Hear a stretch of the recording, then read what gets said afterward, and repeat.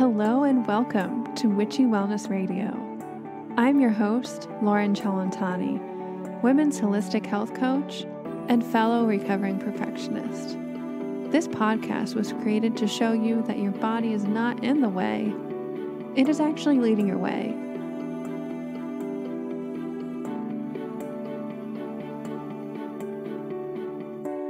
Hello, everybody. Welcome back to Witchy Wellness Radio, and you are listening to episode 76 SoulWork Leadership with Adi Shakti. And today's episode is brought to you by Living the Good Life Naturally.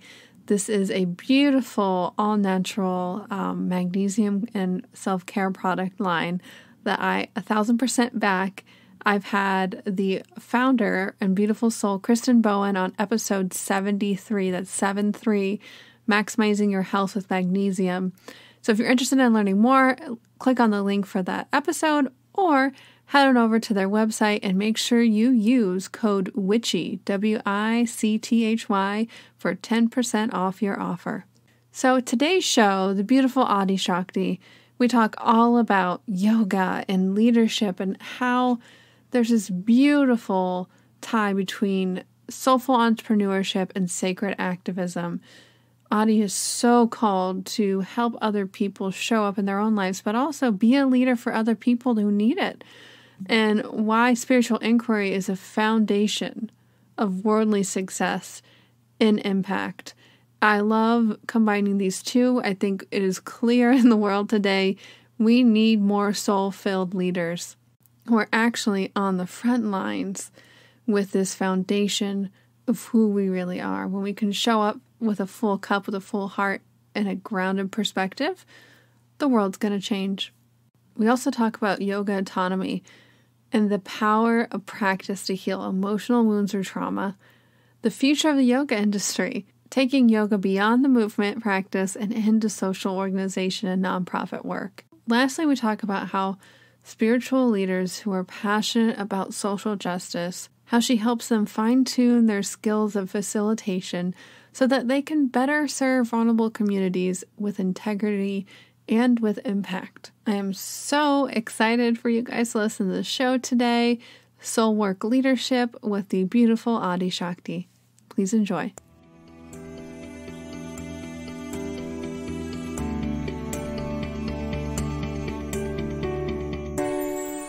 Hello, hello, everybody. I am your host, Loren, and you are listening to Witchy Wellness Radio, the show you get to learn that your body's not in your way, but actually actually leading your way. And today we have the beautiful guest, Adi Shakti. She is the founder of SoulWork, an online educational platform for holistic health practitioners. And she specializes in philosophy of freedom, offering yogic teachings and lifestyle design education. Her own life is based out of an experimental yogic living permaculture center. That sounds amazing. On the Caribbean coast of Costa Rica. She has trained hundreds of yoga teachers and 200 and 300 hour prenatal and trauma informed focused areas. She also has led international programs across the globe, including Thailand, Cambodia, India, Guatemala, and Ecuador. Woo! That sounds amazing. Welcome to the show, Adi. Well, thank you so much for having me, Loren, and everyone listening. I'm so thankful to have your your presence and your time, and I'm really thankful to be here with you all today. So thank you for having me. You're so welcome. I love having fellow yogis and yoginis on here to just talk all things yoga and philosophy and you know yoga is so much more than just that movement you know just one limb of the yogic wheel people don't realize that. And it's so healing for so many people in their in their own way from you know whatever background you come from. It's so amazing to to meet people from all over the world who've fallen in love with this practice. And i would love i'm sure the listeners would love to hear how you got into yoga to now being this like amazing beautiful yoga goddess teaching the world. You know how to, to teach yoga and and practice yoga? Yeah. Well, I um, was born and raised in the Midwest um, in Indianapolis, and I was born actually um, on the northwest side of Indianapolis. And growing up, I went to black schools. And so I am so thankful for that background because I didn't realize at the time even that that was, you know, a unique experience. Um, but it really started to shape my worldview and my passion um, later in life for social justice.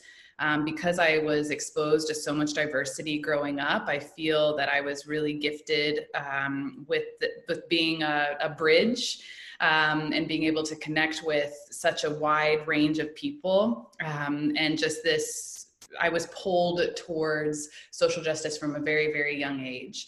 And so i you know went to middle school high school um, and then finally you know was in college in chicago and was working with um, an organization called Lift Chicago, actually, um, and would be in prisons and at women's safe houses, and really um, diving into what it meant for me to use my body, my voice, my personal power as a tool for positive social change.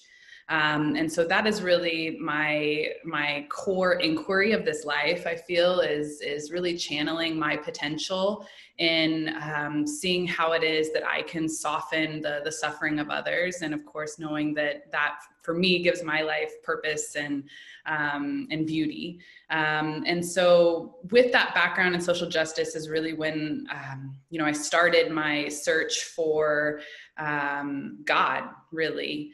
And and it was through people it was through service um, and in school i actually studied the philosophy. I have a bachelor's in philosophy and this was of course mostly the western thinkers and just was really on this hungry quest for um, yeah for what it meant to live my life in alignment on purpose um, to you know live my life with with value.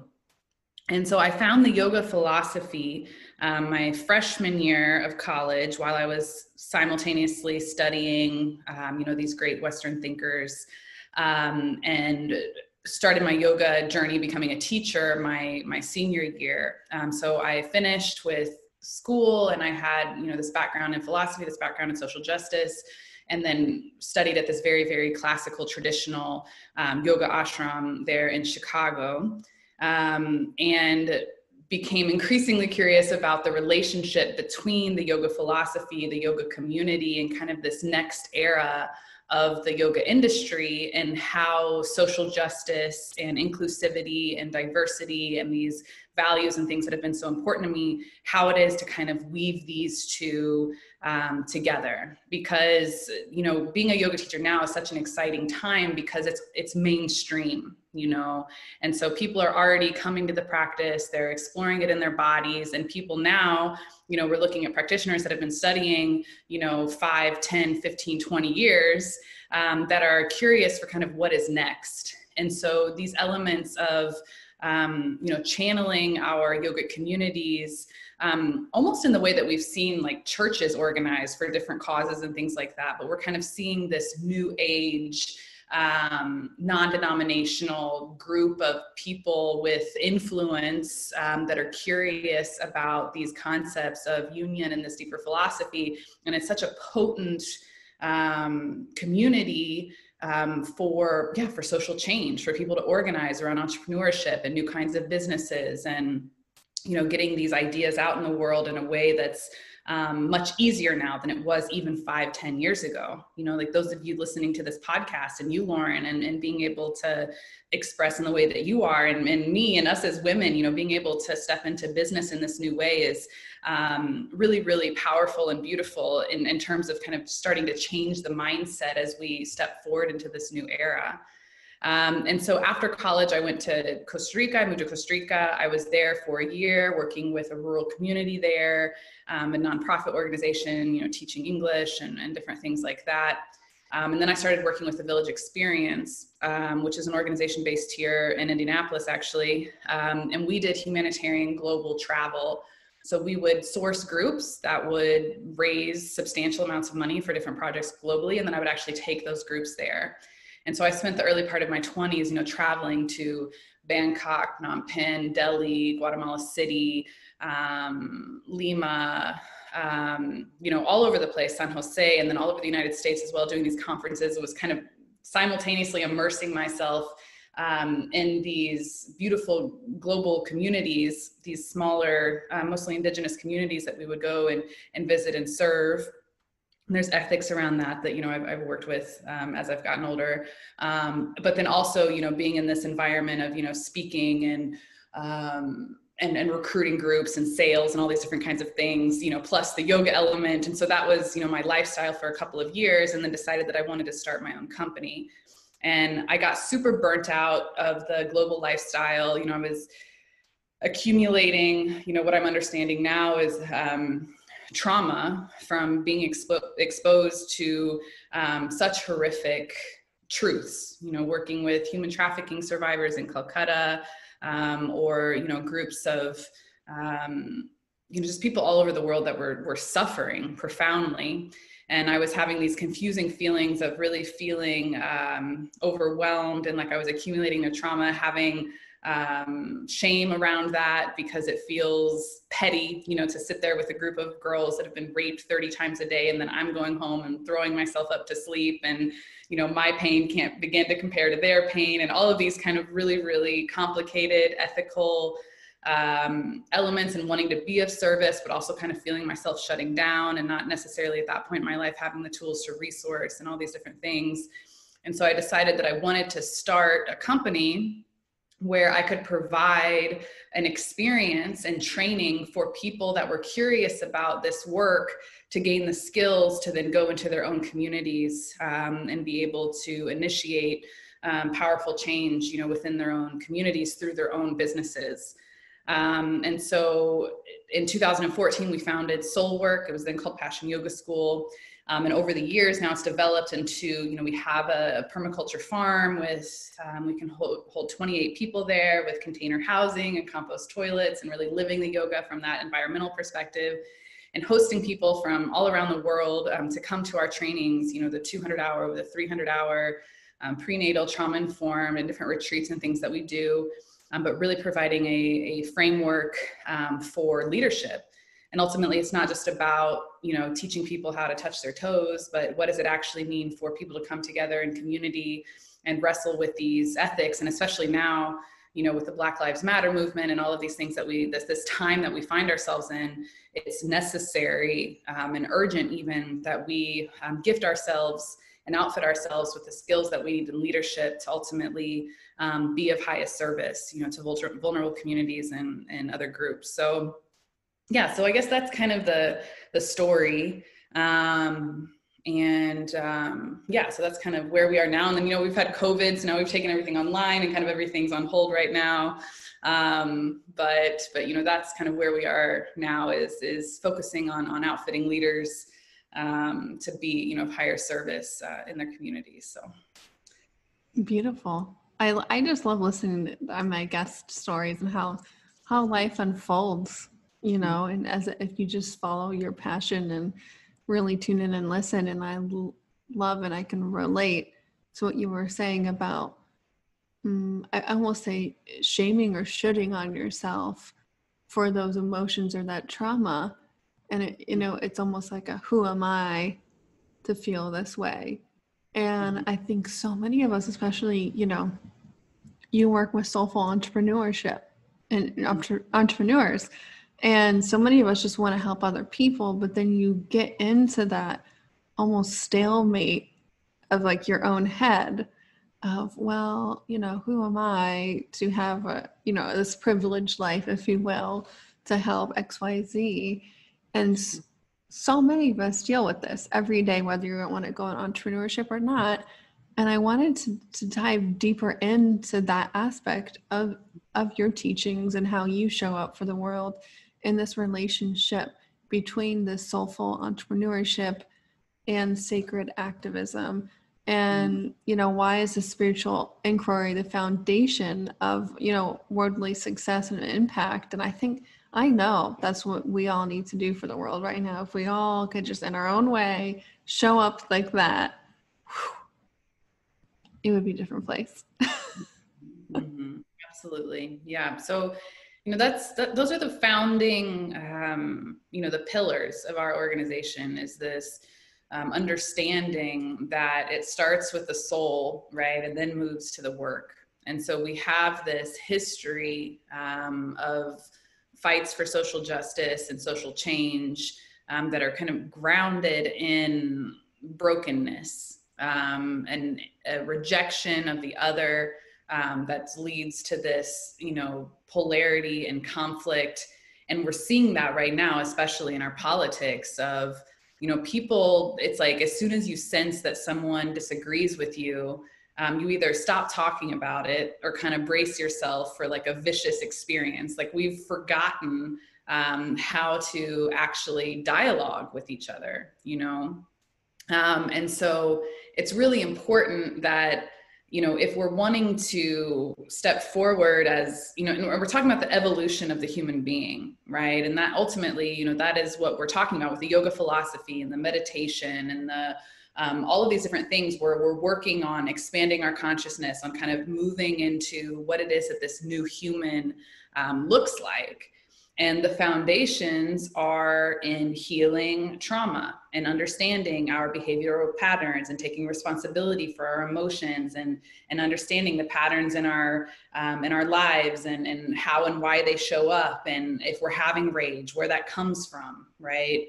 And so having the space and time to do that inner work of self inquiry and actually looking at our lives and looking at ourselves you know to, to come from that place of intimacy um, with self is what is actually going to support us in establishing intimacy with the other and being able to start to chip at you know these age old um, issues you know that we're finding it's finally time for us to confront these things.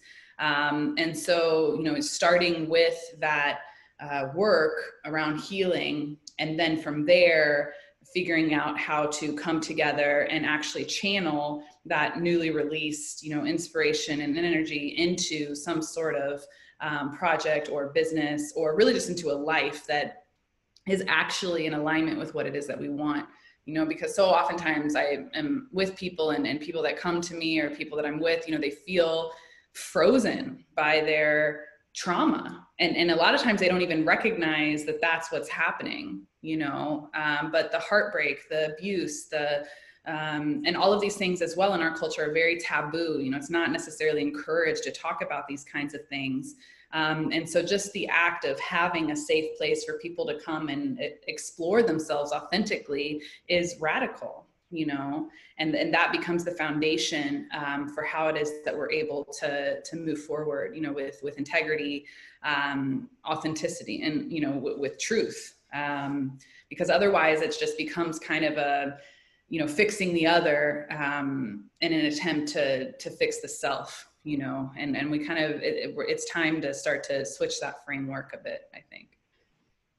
Oh 100% and i think i love how you i mean everybody especially right now can relate to that politics example.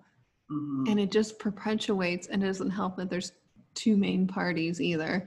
Uh, this duality you know the self and the other like you were just talking about but really we're it's all one mm-hmm. it's all one and uh, so beautifully said how you stated you know starts with the self 1st mm-hmm. and then you can grow that love into the world and i know for me yoga itself the physical practice has been so powerful and people don't realize yes it's a good workout. Yes you, you you know your body will shift and change and you will grow stronger. You might shed weight or but you will shed emotions too. And there have been practices where i have started to cry where i've felt like all of a sudden out of nowhere i had a panic attack or sometimes i've felt like laughing Mm-hmm. And, you know, this relationship between yoga anatomy and these poses and movement to really, it's self healing. You know, people don't realize the power of this to help practice, this practice to heal emotional wounds and the trauma. I would love to hear more. I mean, I always love learning about this, but more about your take on this and, you know, you know, maybe how some tips or um, poses or practices that maybe people you can help people right now, especially during this dualistic election time, if you will, and the year of 2020. I mean, crazy time. I think that what is really um, valuable for people to understand, especially if they're new to the practice or have even been in the practice for a while. Um, I think a really helpful kind of map for looking at this and understanding the impact that it has on us is seeing it through the lens of the nervous system. Um, because we are in a state now, uh, unlike um, any other time in history, with the amount of um, stimulus that we have constantly, right? From our phones to our emails to the TV, expectations with um, social commitments, this glorification of busy. It's just, it's completely overwhelming. Um, and even, you know, you look back to when we grew up and we're in elementary school or whatever, like we didn't have this level of pressure to constantly stay connected, right? It's a very, very new thing in history. But when we look back at, you know, let's say a few hundred years ago, or when we're, you know, hunters and gatherers or in more of a, a tribal state, you know, we would have some sort of trigger or threat to our safety you know maybe a few times a day right or something. Um, and we would have the we had the wisdom the primal wisdom to be able to process through this trauma right? So you know we see a bear and we run from the bear and we have this you know the the flight response and our nervous system goes through its natural primal expression of dealing with this trauma and then it's able to release and we're able to come back into baseline but what we're seeing now is that we are constantly triggered constantly triggered and encouraged through social conditioning to freeze. So we have heartache we have you know comparison this this trauma of you know these images that we're drinking in constantly constantly having access to all of the the trauma of the world. You know that's not something that was real 100 years ago. I mean you had to wait for a horse to come into town to tell you about what happened two doors you know down or whatever it was or two towns down. Now it's just we're constantly hit with all of this and it's sitting in our psyche it's sitting in our emotional system and it's sitting in our nervous system. And so we're seeing our nervous system's wisdom, we're starting to numb out and or it looks like depression or it looks like in, uh, anxiety right? Hyperactivity. And so through the yoga practice you know we have the nervous system that's how we talk about it from a western perspective but in the eastern um, anatomy side of things you know we call this the chakras right? And so really the chakras are just a, a hippie way right of talking about the nervous system. And so when we're working um, with the, the postures of yoga, the, the, the asana or the postures of yoga are designed to support us in kind of discharging and balancing stored energy um, that may be stagnant in these energy centers or in our nervous system. And so that's why, you know, sometimes we'll be in a, in a shape and we'll start to cry because something that's been pent up maybe it was from years ago that just hasn't had the opportunity to actually release from our system you know resurfaces and when you get into the science of all of this and um, you know the molecules of emotion and the hormones as they release in the body um, during these traumatic events but we're not running anymore we're not fighting anymore you know we're just kind of silencing and so having this this practice of movement um, and getting into and stretching different areas of the body and, and deepening into the tissues. Um, it's an opportunity for us to bring our nervous systems back to baseline. And so that daily commitment to, you know, asana and other kinds of movement, you know, work as well. But that maintenance of allowing ourselves to discharge in the system is going to be so important um, because also with the yoga philosophy, you know, we we learn that the physical dis-ease or physical symptoms that show up in the body have an energetic root right so there's some sort of trauma that hits the system that blocks and then over time it's not addressed it's not released and then eventually it does manifest as physical disease in the body. So we see that thoughts or emotions or energetic trauma you know are the root of so much um, disease. And so if we can on it you know take this perspective of um, taking the the reins on our health and committing to um, coming into some sort of daily practice it's going to be a way for us to keep ourselves well energetically emotionally um, and physically as well. So it's a really really really powerful practice for um, yeah for our mental health our emotional health our spiritual health and then ultimately you know we know of course our, our physical health. Um, but it's it's very very um, deep and, and layered. There's so much wisdom there. Yeah. Oh yeah. I I love a good yoga cry class. You know, it hits you when you least expect it, but man, is that therapeutic. I so and I have I have to admit, you know, my theme this year is like from trying to get my home practice up and go running and it's been a struggle and you know xyz excuses but at the end of the day you can feel your body your nervous system your emotional spiritual body oof it's all sorts of contorted and tight and whatever.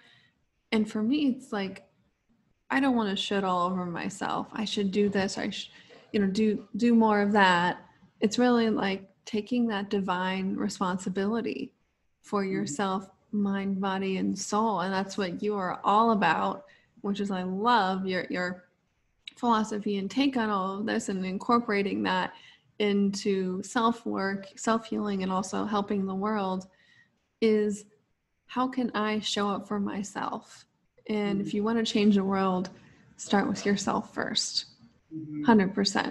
and that it's probably the you know i i, don't even know how long my I've been practicing my yoga practice. Let's say let's say about 10 years. That was the biggest thing I've learned is change the world, change yourself through yoga and just that self-healing work that that, comes along with this. And since those 10 years, the industry has really changed. Really changed. Um, you know, I see local mom and pop shops even now having to go online that have only been in studios this past year. And I feel like you guys have been kind of with your company ahead of that movement or alongside with it. You know, I would love to talk more about the future of the yoga industry. You know, not only just going online, but you, we've touched on it throughout here, is talking beyond that movement and that healing practice. And how can we transition this in a practical way throughout the world into a social organization and nonprofit work as well? So I think that, you know, when we come onto the yoga mat physically, what the the profound work comes in that we are witnessing ourselves right so in that hour that we're on the mat in that 30 minutes hour and a half however long we're, we're on our mat we're watching how it is that we move, how it is that we breathe. We're building intimacy with our body, with our emotional system.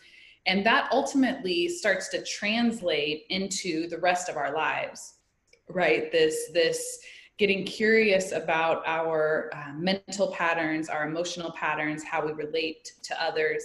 And so I feel that, you know, with the, the yoga industry, um, the emphasis in the last, you know, you look at Yoga Journal, you know, for the past 10, 15 years, whatever it is, has been very much so focusing on um, this, this physical layer. And so we're seeing now that people are getting more and more interested in, you know, these deeper layers of what is possible, you know, around, um, and even, you know, corporations, um, integrating meditation into the the workday and all of these different things that we're starting to see that these this value being put on mindfulness. And so something that's very exciting actually that's shifted you know is people being passionate about um, you know the evolution of, of, of themselves the evolution of the human being. And in that inevitably comes a deeper compassion and empathy and care um, for the other right? Um, and so something that's been really beautiful about us switching online, you know, at first I was terrified because, you know, the, the intimacy, the depth, the, the quality of, of being able to be together, especially in the jungle, you know, is so special. I was really nervous about being able to um, replicate that online. But something that's really powerful about the online format is that we're able to make things much less expensive and then also the people that are coming to our programs are so much more diverse. You know, we can have people from all around the world, we can have faculty from all around the world. And so we're seeing this beautiful surge in deeper conversations happening and a new kind of union that's happening, even though it's not necessarily, you know, in the physical space. And so we're having people connect um, from all around the world that are having these conversations around what it is that they're wanting to build, what it is that we're, they're wanting to create. and ultimately you know maybe we'll be in this online space for the rest of our, our lifetime but kind of what i'm hoping is that you know we're kind of in this this phase now of all coming together and building these relationships in this way and that after we kind of come out of this um, pandemic era um, that will have an even stronger global community of people that have been connecting and sharing ideas. Um, you know even though it's kind of been out of necessity but i really i really see um, the power of loving kind people that are wanting to see more um, compassion and not only on you know that side of things the heart side of things but also people that are very mentally strong that are wanting to, to organize in their communities or put together nonprofits build businesses um, that will be more resourced um, and more educated in more of a global worldview um, to be able to kind of step into this new era in our businesses and our lives and the way that we serve others with more um, experience and, and integrity. Amen. I think, I think that is what the world needs right now. I feel so aligned with that. And I, I see like, you know, the bigger name yoga teachers stepping out more and more. You talked about Yoga Journal. I think of Seane Corn. She's always been very active in her own, you know, in her own way in different platforms. Um, but it comes from the individual level. And I think, you know, this, we are all learning, we are all adapting exponentially this year any which way. My partner and I, we always talk about if you haven't grown in at least one area of your life or changed something this year, something's wrong. Like life has forced has forced you to show up in a different and new way. But like you said, we're being called in this new evolution of human, of being human, and not a, a de-evolution as some of us feel like but it's through these practices like yoga through connecting like programs that your your company soulwork offers that allows us to further this evolution. And for me it's so exciting. You know we you know people might always have wanted to work from home or whatever. And this year look in a weird about way the universe has brought you work from home. You know you don't have to leave and looking at these silver linings that we can change and adapt and and look in our own lives what you know why why am i here now? What how can i grow in my own way? And how can i share that growth with others in my own community? Love love love love what you guys are all about. I want to hear more about um, you know your online programs but also eventually you know maybe even your 2021 200 300 hour programs and all those other specialty areas and your new Spanish, completely in Spanish training too. That is amazing.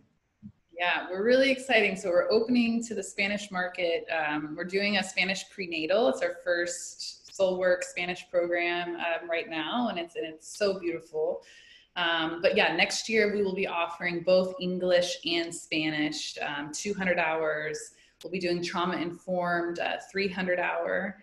Um, and then the prenatal training will also likely be doing um, a children's training towards the end of next year.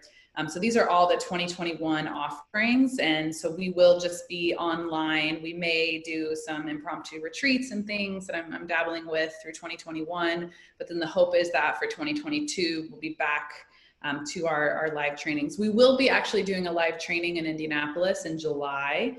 Um, it's a 200 hour, three week long program super affordable, which is awesome because we're just we have the space at Soulwork headquarters that people can come to and then stay where they'd like and get their meals where they'd like. Um, but yeah, but once we get back to Costa Rica, it's the ashram life. Um, those programs are you know up to four thousand dollars for a two hundred hour, five thousand dollars for the three hundred hour. So they are um, incredible investments. You know, you're there for a month, all of your meals, all of your housing, your faculty, all of that. Um, and so it makes sense that they are so expensive. Um, but the beautiful thing about 2021 and this upcoming year is that we're able to offer, you know, scholarships. We're able to welcome people into our programs for $500, you know, um, because we don't have the costs that are affiliated with these live trainings. And so, and also it's a temporary permission, right? So the Yoga Alliance just gave us permission through the end of next year to do this um, online format. And so we're just trying to serve as many people as we can, especially at these discounted rates, you know, through the end of next year. And then it is likely that 2022 will be back to our um, to our ashram. I hope so. I miss it very much. Oh, that sounds so wonderful right now. I just gotta say, like, Costa Rica is beautiful to begin with, but that that whole setup, I'm ready to go. Um, um, so I've done my teacher training and I don't necessarily teach yoga, but I have found it was well worth it.